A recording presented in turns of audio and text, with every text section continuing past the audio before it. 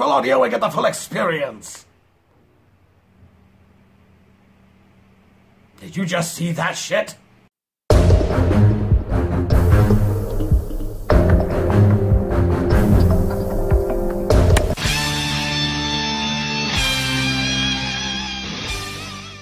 How the hell are ya, interdimensional cucks? I'm Derpy Derpington. I mean, I'm Galactic Criminal. Today we've got ourselves interdimensional space metal band Gloryhammer, which some of you might not know was actually my stripper name back in college. I'm just kidding. I didn't go to college.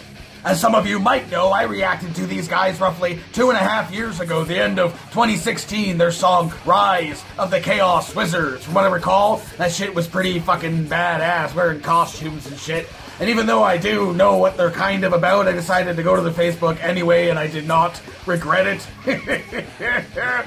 says for band interests, warfare in outer space, says they are interdimensional space metal. But I love this for the band members on, on vocals Angus McFife the 13th, the Crown Prince of Fife. on guitars, Sir Proletius. Prolet Proletius?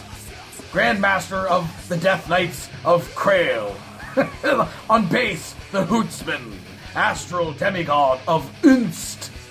On, on keyboard, Zargothrax, Dark Emperor of Dundee. And on drums, we've got Ralathor, the, the mysterious submarine commander of Cowden. What? but then you go into the description of this fucking video and you get even more gold. This song apparently coming from an album they got coming out next month called Legends from Beyond the Galactic Terror Vortex. That's just fucking awesome. they got like a synopsis here. It says, Mighty warriors of the galaxy. Are you ready to raise up your laser powered goblin smasher to defeat the forces of Zargothrax? then it's time to watch the video for our new single, simply called Gloryhammer. In this song, Angus McFife has arrived into a terrible alternate universe ruled by the evil wizard Zargothrax. And to make matters worse, his legendary hammer of glory is powerless. His only hope is to fly into space and recharge the hammer with the power of astral fire. If his quest fails, then the forces of evil, led by the Death Knight Sir Proletius, will rain down nuclear fire upon the brave resistance fighters of the Kingdom of Fife.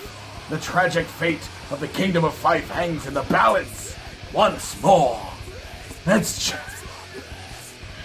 that's so epic! And even with how badass all that fucking shit is, they are all so power metal. I haven't checked out a power metal band on this channel in a while, excuse me. Interdimensional space metal, to be exact. So let's get right into this shit. Gloryhammer! Glory Hammer! With a one, two. Yeah, baby! Turn it up!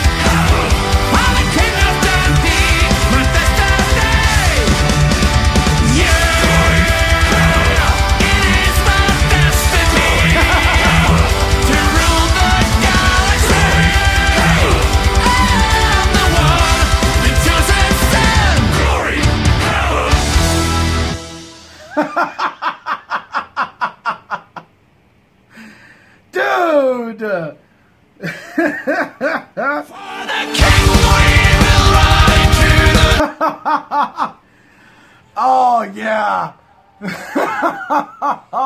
oh, epic. I love it. now I'll say straight off the fucking top, as much as I really enjoyed that, I was just a little bit, a little bit bummed that it wasn't like the other song I checked out. I mean, you heard a little snippet of it at the end of, of that video there. Was I was hoping it was gonna be like the fast fucking style of uh, power metal, dude. but what we got was still pretty fucking epic.